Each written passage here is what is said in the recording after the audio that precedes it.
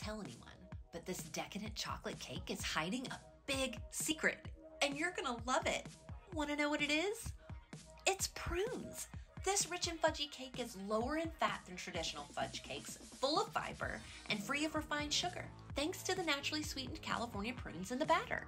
Dark chocolate and prunes melt effortlessly together into this cake's batter, creating a rich and fudgy cake that is gluten free and grain free, but flavorful from the first slice to the very last.